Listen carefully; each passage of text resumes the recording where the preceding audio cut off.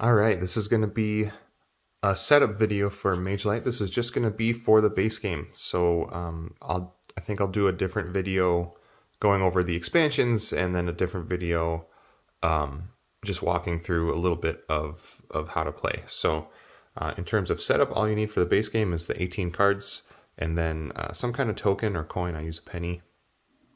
And uh, probably just in no particular order. I'll just start with whatever's on top here. Um, here's your four map cards. They're double-sided. Uh, the side with the asterisk is the core tile side, and then the countryside tiles uh, are on the other side. So give those a shuffle. Um, put them in a stack with the core tile side up, and then draw from the bottom for your starting tile.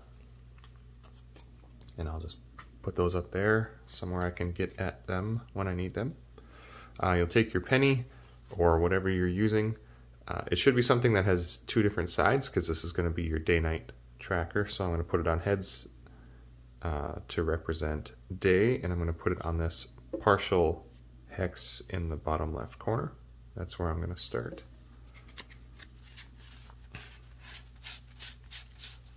And then you've got your eight action cards here.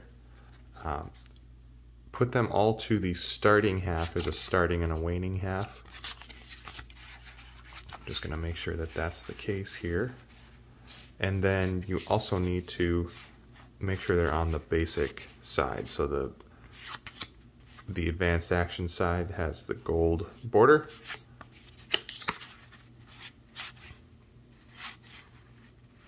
That one I think is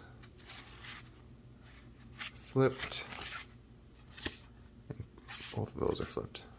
Okay, so then once that's all correct, go ahead and give them a shuffle.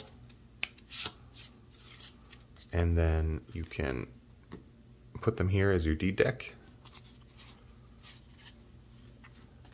These two cards are going to track your reputation and your fame.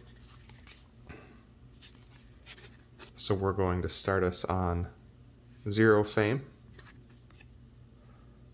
All that means is we're going to have the arrow on this card point to zero. Um, you can see there's arrows on every orientation of the card. Uh, we're going to start on the uh, yellow side, the gold side. If I can get it to focus for you. There we go.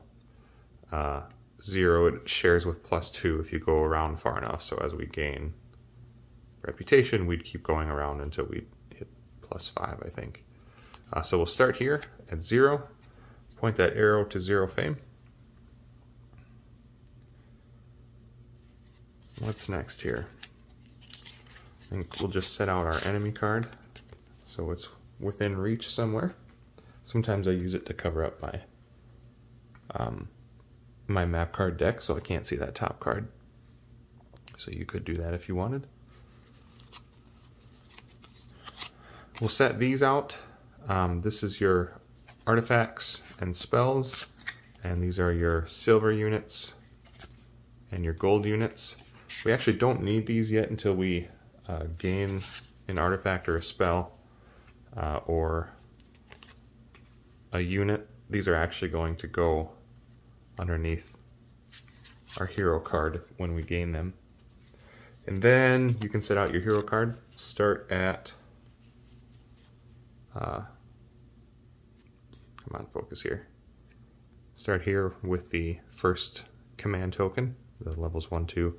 When we level up, um, we'll rotate it so that we're character level 2, and then we gain that skill, and so on.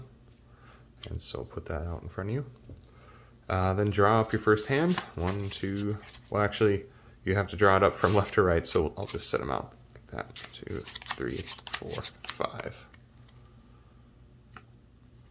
uh, because the, the order that the cards are in will matter, and I'll go over that in um, a different video, but you draw your first hand, and that would be completed setup.